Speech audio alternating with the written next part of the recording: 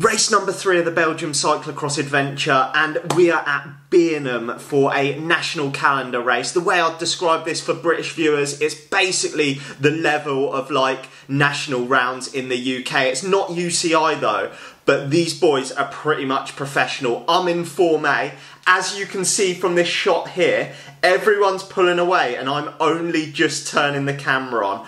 I had a nightmare start. So let's get underway and see this absolute shocker. I didn't realise they were about to say go.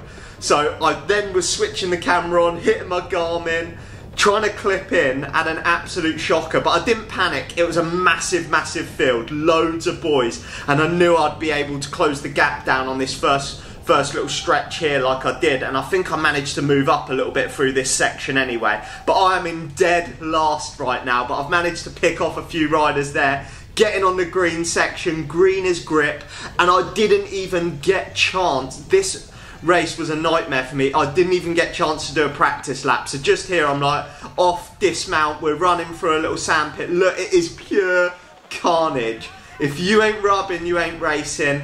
And yet again, if you watch my last video, my remounts this last year were absolutely shocking. So goal number one is to massively, massively work on that. But look at that. Like, if you blink or leave a gap open, the Belgian boys will come straight past you. They know how to take a corner. They are at, look at this, absolutely full chap around this first bit. And this course was outrageous. I have not raced anything like this in my life. Look, same again, he's come up the inside, got me. We're basically about to come off this grass section in a minute onto like a, a road that they'd closed off. We're basically about to cut across someone's front lawn. They must have been devastated. Cut across someone's front lawn, and then it comes down this road and into basically mountain bike single track. I have never felt so underbiked in my life, and I've also never this is the fastest start to a cyclocross race I've ever encountered. Look, it comes into a bottleneck here. There's absolutely nowhere to overtake. And when I say the Belgians know how to get past, watch this manoeuvre. Bish bash bosh, see you later. A couple of places moved up. I take my hat off to you in yellow and black, lad. But this next bit, because I didn't know the course, I've let the wheel go a little bit here, and this was a monumental mistake because this next bit was full ponies, absolutely holding on for dear life. I think we get up to like probably close to 25 mile an hour along this muddy stretch, and I was absolutely giving it everything I had right now to close that gap down. The problem was, I was look, we hit 25 mile an hour then. That is full gas in a cross race. The problem is, because I didn't know the course, I'm also thinking if I get on their wheel, I don't know if there's a corner coming, but this was the fastest start to any cross race I've ever had, I think. It was just full gas, and they are basically professionals in this race. It was Form A, and we go into this next section, and this was class we go into like basically a mountain bike single track section. There is a canal to our right. Look, it's off and running straight away because it is single file. There was nowhere to overtake here. It was so important to get a good start, but your boy had an absolute stinker of a start. Look at this. I felt so underbite. I was going down here and I thought if I get this wrong on one of these corners, you're in the drink, mate. I thought, imagine going back to the missus.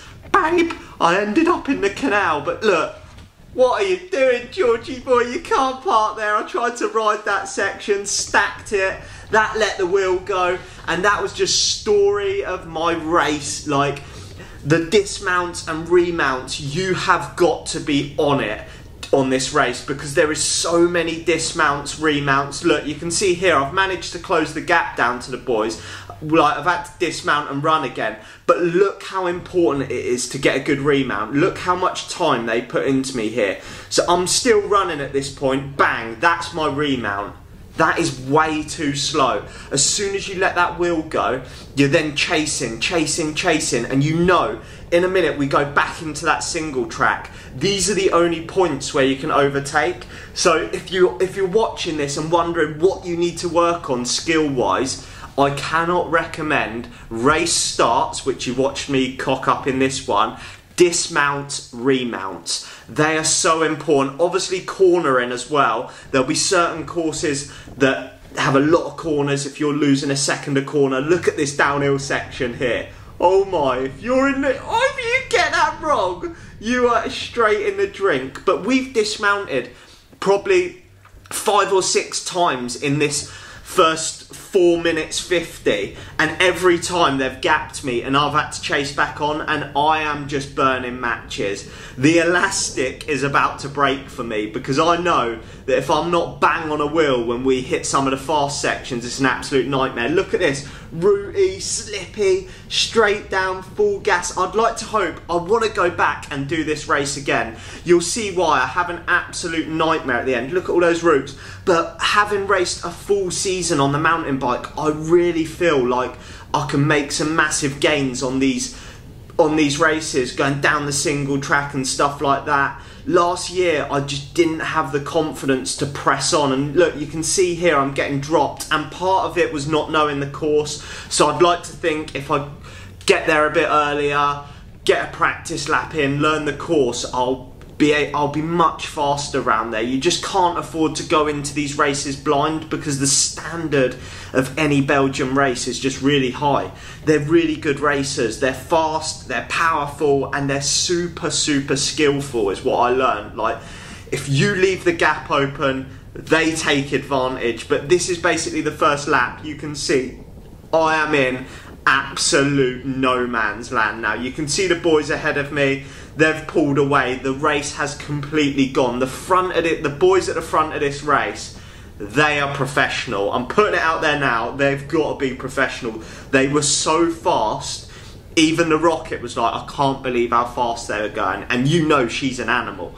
But this was basically the full lap. We went through a few few twists and turns, and then you go back onto like a cobbled cobbled start straight. I think think it was cobbled anyway. You're in Belgium, it's got to be cobbled, isn't it? They love a cobbled road. But coming out, you saw the guys there on the left. They've dropped me, absolutely dispatched, and there was nothing I could do about it. Yes, onto this. This bit was slippy as where the mud had got onto the cobbles. So that was lap one, and I'm gonna be honest, it was pretty much survival mode for me now. It was basically race over because I had been dispatched. There was a couple of people behind me, but not many, and it didn't feel great. My legs felt empty, and I. The one good thing was though, I didn't give up. I carried on, and I was just like, "You've come out here to have fun." Race your bike, so give it all you can. And that is what I was doing. I was just working my absolute backside off to try and shut down the gap. And one good thing, look, I managed to ride that sand section. That your man's a sand expert now. That is the smallest sand pit ever compared to my first race out there. But I did manage to start improving on these singles track sections. I, when there wasn't traffic, I was actually able to ride up these little climbs as well, which was really nice. And I did slowly, slowly, slowly get into the race and start I could see a guy in front of me, and you could see that guy there on the start finish straight there, and I could slowly see that I was pulling people back and I was getting into the race. Look, I was actually shifting and moving at some speed through the single track, which was nice. And it was mainly because I was starting to learn the course and I was getting used to the single track, getting used to the corners, the gears I needed to be in to get up these climbs, and I was slowly coming, clawing my way back into this race. We're what? 22 minutes in now, I've jumped forward, we're on the fast straight, and if you squint enough, you can see a rider just in front of me. And this was it. I was like, this is my chance to shine, to actually overtake someone in what has been a disastrous race from start to finish and I could I could see him every time I went round one of these corners. I was getting that little bit closer, a little bit closer, and you're getting all excited. And just round here, I think it's when I get my first like you'll get your first full glimpse. There he is at the top of the climb, and I was flying at this point. I was giving it full berries to get on his wheel and I thought as soon as I get there I'm just going to keep pressing on go straight past him and see what I can do see if I can catch the next rider catch the next rider and this is where it went completely disaster coming up here I sprinted to try and catch caught that tree plop You can't park there, Georgie boy. I go to get back up. You absolute numpty, George. I get back up. Why aren't I going any faster than that? Because I've realised I've just snapped my handlebars. That was literally the most pathetic fall I've ever done and it snapped my handlebar clean in half. Absolute nightmare. So that was a disastrous race from start to finish for me, and it was race over. But I thought I'd still show it the highs, lows of Belgium cyclocross racing, and it was a wicked fun course that I definitely want to try again.